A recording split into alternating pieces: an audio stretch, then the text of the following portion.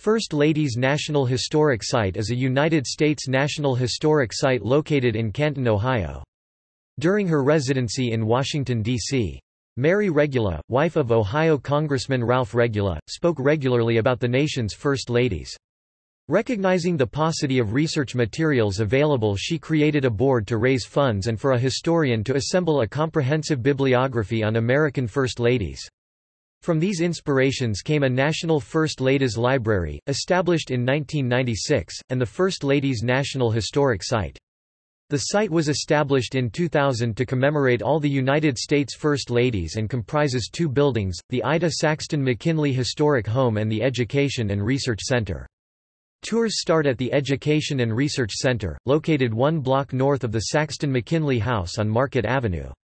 The 1895 building, formerly the City National Bank Building, was given to the National First Ladies Library in 1997. The first floor features a theater, a large exhibit and meeting space and a small library room with a collection of books that replicates First Lady Abigail Fillmore's collection for the first White House Library. The center's second floor is home to the main National First Ladies Library.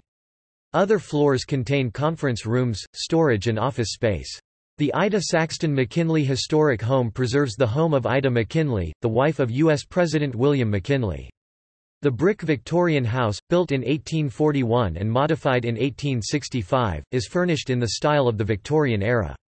Costumed docents provide tours, and exhibits focus on President and Mrs. McKinley, photos of First Ladies, and Victorian decorations. Admission to the First Ladies National Historic Site includes both the exhibits in the Education and Research Center and a guided tour of the Ida Saxton McKinley Historic Home. Reservations for the house tour are recommended due to limits on tour size. Reservations are required for groups of six or more.